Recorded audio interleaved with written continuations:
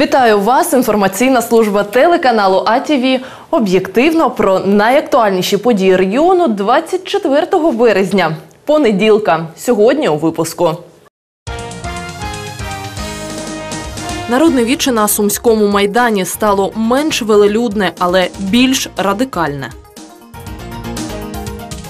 Афганці, спортсмени і священник у Ромнах організували навчання з вогневої підготовки. Повернути довіру людей до міліції. Таке завдання ставить перед собою колектив обласного ДАІ. Народне віче на Сумському майдані цієї неділі було не таке велелюдне, як попередні, але за настроями більш радикальне. Наталя Литвиненко Орлова вже рік живе у Сумах, але активно спілкується з українською діаспорою в Росії. Запевняє, нині свідомим українцям у північних братів стало несолодко. Ситуація дуже складна. Людей викликають ФСБ, людей затримують де завгодно. Ідуть якісь дзвонки, лякають. Мені погрожували, що в мене не буде роботи, в мене не буде того сього, і саме страшне сказали, ти не побачиш більше своїх дітей. За словами пані Наталі, у 2004 році російська влада оголосила про сприяння національному руху у федерації. А тепер, виявивши лідерів, почала на них справжнє полювання. Це саме може чекати і на кримчан. Громадський діяч Володимир Коротун закликав допомогти евакуюватися з Криму родинам українських військових. з кораблів е, висаджені наші моряки на берег, з військових частин, тобто це люди, які кинуті на призволяще сім'ями з дітьми. Рахунки їхні, хоч гроші перераховані в банках, але вони не можуть отримати. Представник свободи Юрій Тищук запропонував внести до резолюції Сумського майдану наступні вимоги до змін українського законодавства. Чинне законодавство дозволяє психічно здоровим, несудимим громадянам України мати нарізну бойову зброю. Вимагаємо від центральної влади України, крім підсилення регулярних професійних військ, негайно перейти до формування широкого народного ополчення на основі залучення всіх патріотично налаштованих громадян. Були і більш мирні пропозиції. Наприклад, щонеділі запрошувати на Сумський майдан творчі колективи з районів, аби демонструвати таланти і прищеплювати сумчанам любов до народної пісні. Ігор Стельцов, Анастасія Клименко, Володимир Спасьонов, АТВ. Сподівайся на мир, але готуйся до війни. У Ромнах воїни-афганці разом із спортсменами організували навчання з вогневої підготовки. Ініціативу підтримав навіть місцевий священник.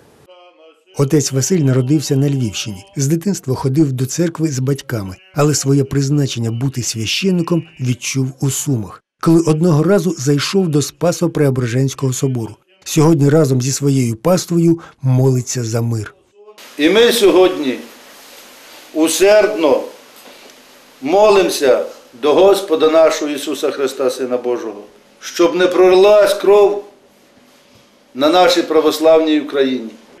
Отець Василь знає, що таке війна. В афганській провінції Парван розміщувався 177-й мотострілецький полк, де він служив водієм-механіком бронетранспортера. Тоді охороняли дорогу на перевал Саланг. Нині закликає усіх вірян чоловіків охороняти Україну.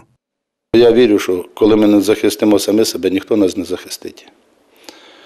І я знаю, що наші хлопці, афганці, мої побратими Роменщини, вони завжди мені допоможуть, бо я знаю їх бойовий дух.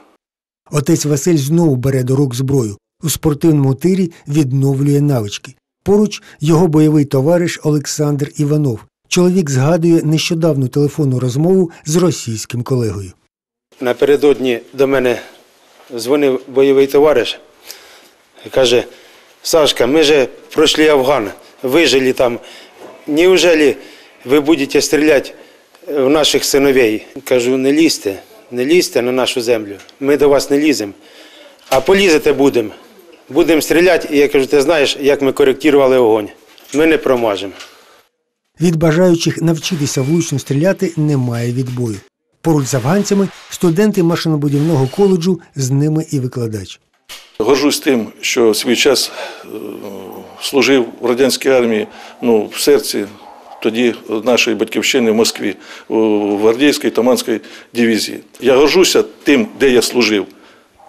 Але сьогодні ті танки, ті стволи направлені на нашу територію. Люди звернулися для того, щоб спомнити навики стрільби, спомнити його, попробувати, як воно е, робиться.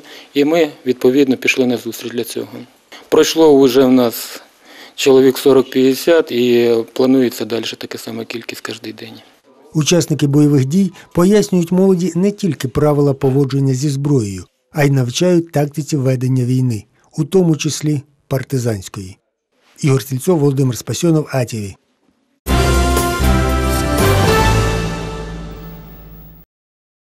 Комунальне підприємство Електроавтотранс має проблеми із кадрами, заробітною платою і станом рухомого складу. Додаткові труднощі може принести рішення виконкому міськради про направлення маршрутки номер 8 через центр та ринок, як вимагають жителі Тополянської. Електроавтотранс залишається у скрутному становищі. Фінансова ситуація на підприємстві критична в усіх аспектах. Підприємство працює поки в звичному режимі, але є певні труднощі. Це відсутні надходження за субвенції за пільгове перевезення категорії громадян, яке складає 2 мільйони 314 тисяч. Борги держави перед тролейбусниками не дають виплатити заробітну плату та утримувати рухомий склад. Існує борг по заробітній платі за січень місяць 182 тисячі, за лютий 760 тисяч, яка загальний склад 942 і 7 тисяч. Відсутні, тобто маємо борг по запчастинам 334 тисячі і на ГСМ 58 тисяч, який в общем складає 393 2 тисячі. Е, Але ж Оце починаючи з тої неділі, борг, ні запчастин, нічого підприємству ніхто не дає. В мерії проблему знають. На березневу сесію готують чергову допомогу підприємству. 2 мільйони. Ну, це знову ж таки як е, така фінансова допомога, фінансова підтримка, але воно не виручає, тому що вас щомісячно з бюджету потрібно десь мільйон або і більше мільйона, якщо держава нам не допомагає. Ми знову перекриваємо державні борги, на жаль, і свого бюджету надаємо цю підтримку, але будемо допомагати. Частину пасажирів, а відтак і частину прибутку електроавтотранс може втратити через зміну руху маршрутного таксі номер 8 Мешканці вулиці Тополянській вже давно просять виконком пустити маршрутку через центральний ринок. Восьмий маршрут. Я боюсь, щоб е, знову ж таки не стояли, як вже 10 разів стояли тут перед дверима мешканці Тополі. Тому на завтра внесення змін до відповідного рішення з тими пропозиціями, які ви надали, по 6% зміни маршруту по Тополянському маршруту. Відповідне рішення члени виконкому можуть прийняти вже 25 березня. В силу воно вступить з наступного місяця. Анатолій Кравченко, Валерій Коваленко, АТВ.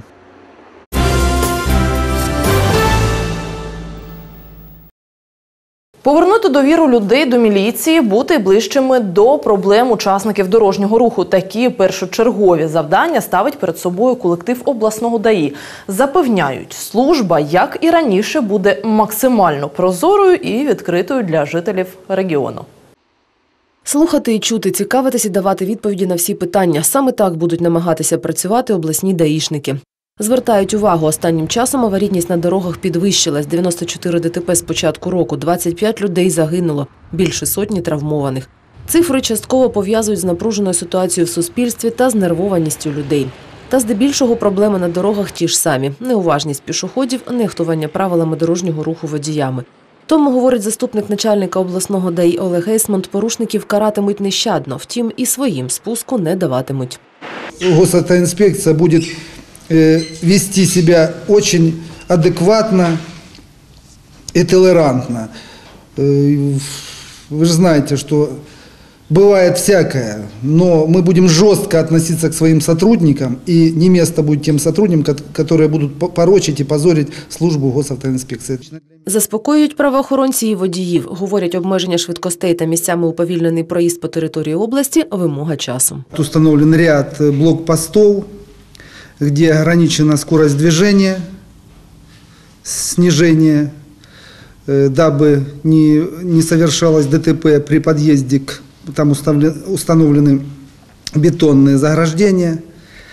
чтобы люди относились с пониманием сложившейся ситуации, э, неудобствам. Э, Мы со своей стороны готовы оказывать помощь.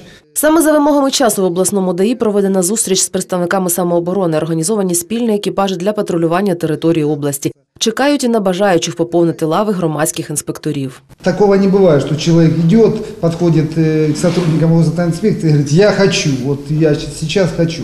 Вы же поймите правильно, что эм, нужно с человеком побеседовать, посмотреть на его моральные качества, э, на его адекватность действий, потому что может сложиться такая обстановка, что человек только принесет нам э, неприятности. Мы проводим здесь совместный инструктаж и заступает совместно, совместно с нашими сотрудниками для несения службы на территории Сумской области. Да, это уже одно несение службы уже у нас производилось, это с субботы на воскресенье. Как много таких? Таких людей, ну, у нас было выставлено по суммам, по городу Сумы 5 таких постов, и в- они выделяли где-то человек 8-10 на каждый пост. Щодо прозорості і відкритості в роботі представники Державтоінспекції запевняють, обмежень на спілкування немає. Цілодобово працює чергова частина. Щодня йде прийом з особистих питань керівництвом служби.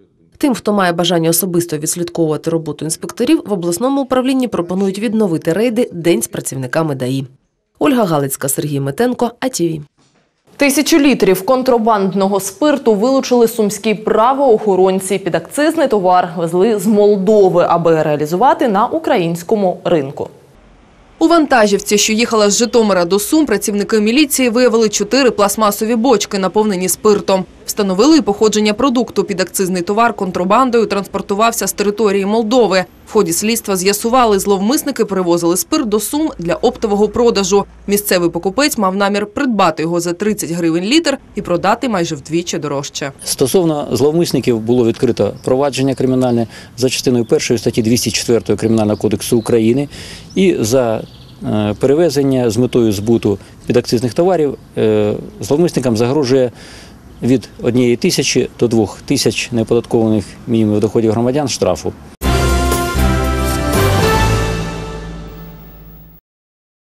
Сумщина без туберкульозу, реальність чи утопічне гасло. Така тема в день боротьби із сухотами зібрала за круглим столом медиків.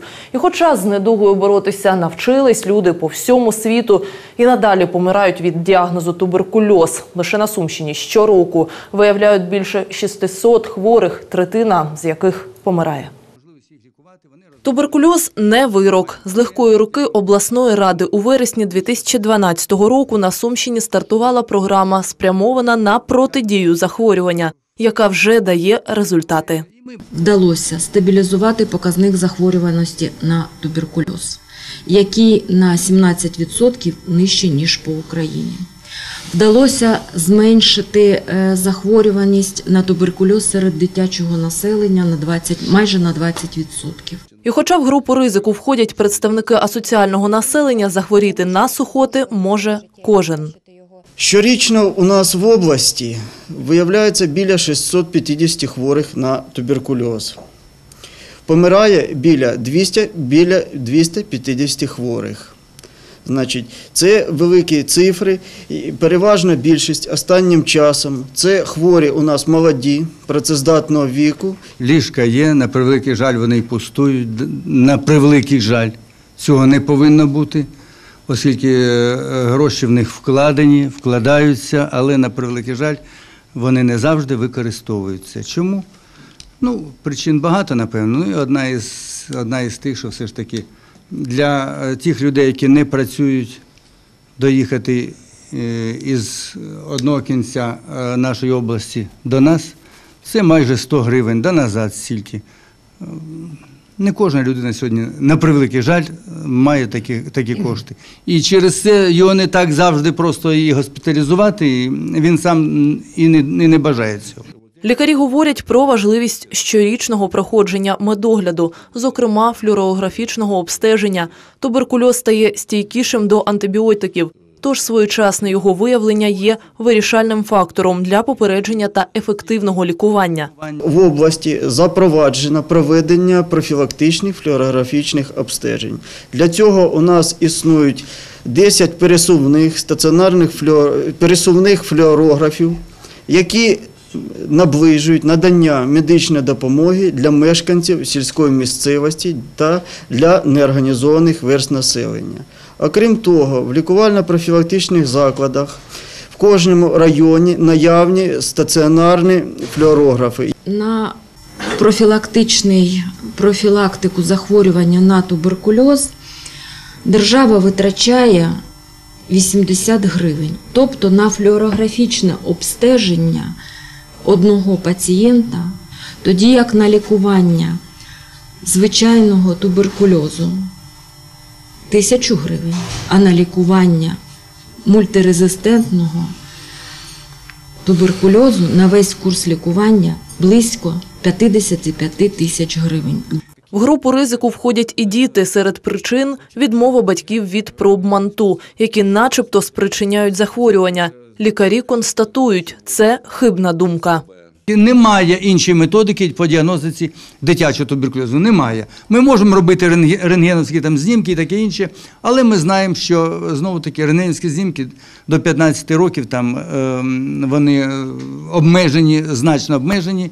Ми там їх повинні робити лише по прямим показанням. Ми при цьому вводимо не мікобактерії туберкульозу, не туберкульозну паличку. Ми при цьому вводимо продукти їхньої життєдіяльності, тобто те, що не може визвати захворювання, абсолютно. Ніна Паустовська, Сергій Матенко, АТВ.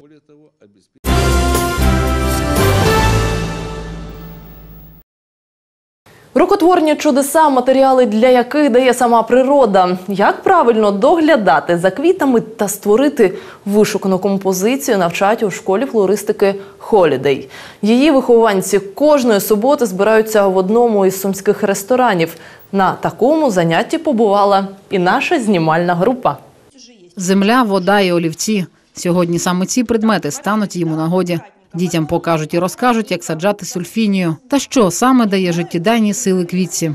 Солнышко помогает листочкам становиться больше, земелька помогает корням становиться сильнее, а водичка стебельку помогает быть толще. Поливаем хорошенечко, да. Видите, как, когда вы полили, что земелька чуть-чуть опустилась вниз. Заметили?